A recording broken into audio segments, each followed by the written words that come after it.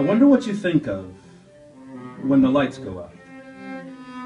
After the farewells, once the door is locked and all that's left of the evening are the echoes of fresh coffee, the tears and laughter we splattered on your walls, and the lingering mellow vibration of the things we just experienced on your floor, when we're all when you're all by yourself, what goes through your mind?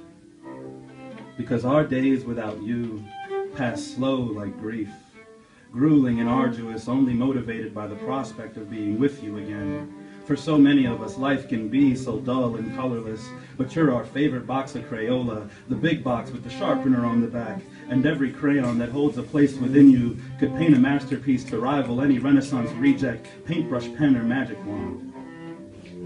Within your walls, judgment is a dirty word. Support and compassion are your hobbies, and love is your favorite hymn.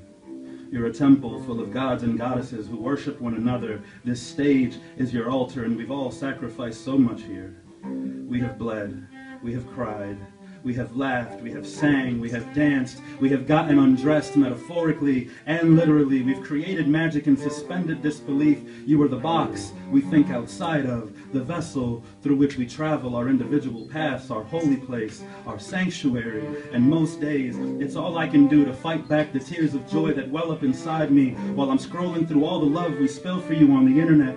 Little digital reminders of why we do what we do, why we live how we live. These art forms are our lifelines, visionary veins, artistic arteries, comedic capillaries that pump the blood and breath through your vascular system. You bleed into our daily lives and we find ourselves snapping our fingers at inappropriate times. We take you with us everywhere we go, and if there's ever two or more of us in a room, that room becomes the venue, and you would swear there were 35 of us the way we go in when we represent for you a feeling so intense for you. There are no words good enough that I could pen for you, even if I invent a few. My queen, you make me wish I'd written We Are the Champions. But our anthem is unwritable. You make me want to climb up onto a soapbox and yell the names of all the people I love into a megaphone, but that wouldn't be fair to all those loved ones whose names I don't know yet. Look how much you mean.